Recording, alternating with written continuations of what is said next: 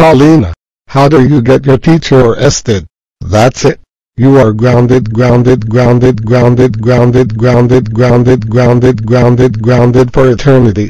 When we get home, you will have punishments. But mom and dad, Uh, no buts.